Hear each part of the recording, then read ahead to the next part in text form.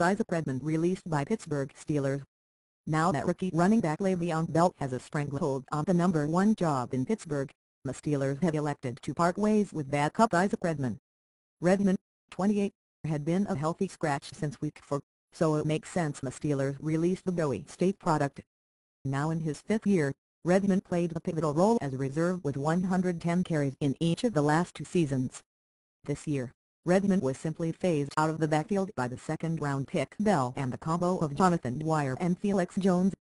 On the season, Redman was given just 11 opportunities to carry the ball before the coaching staff quickly looked elsewhere for production.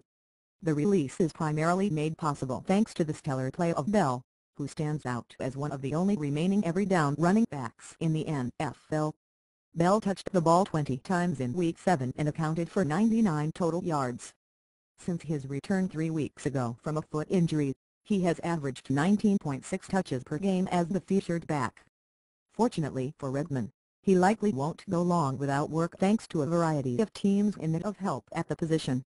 As Mark Kaboly of the Pittsburgh Tribune Review points out, the New York Giants may come calling soon. An owner of a 4.1 yards per carry career average and a bruiser between the tackles, Redman will find an NFL home rather quickly.